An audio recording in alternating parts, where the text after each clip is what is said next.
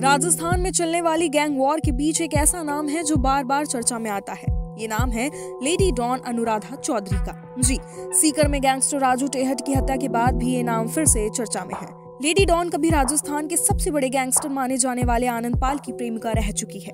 Media report के अनुसार, आनंद पाल के एनकाउंटर में मारे जाने के बाद वे अब लॉरेंस गैंग के गैंगस्टर काला जठेड़ी के साथ लिव इन रिलेशनशिप में रह रही है। जो उनकी दुनिया में उसे रिवॉल्वर रानी के नाम से भी जाना जाता है। बताया जाता है कि शादी के बाद उसने शेयर बाज़ार में पति की मदद करना शुरू कर दिया था।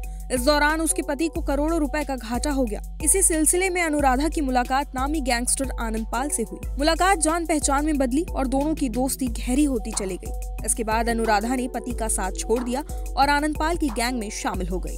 आनंद पाल की गैंग में आने के बाद अनुराधा ने क्राइम की बारीकियाँ सीखी थी। आनंद पाल ने उसे शार्प शूटर बना दिया था। वे ए के फोर्टी सेवन जैसे आधुनिक हथियार चलाने और अपहरण करने के मामले में माहिर मानी जाती थी। आनंद पाल गैंग में उसे मैडम मिन्स के नाम से जाना जाता था।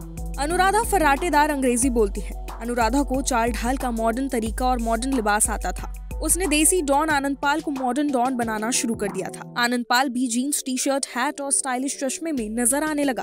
अंग्रेज़ी में डायलॉग बोलने लगा। जेल से पेशी पर लाने के दौरान डॉन अंग्रेज़ी में मीडिया में बात करने लगा। फिर गैंगस्टर आनंद पाल ने अपनी पूरी लाइफ स्टाइल ही बदल डाली।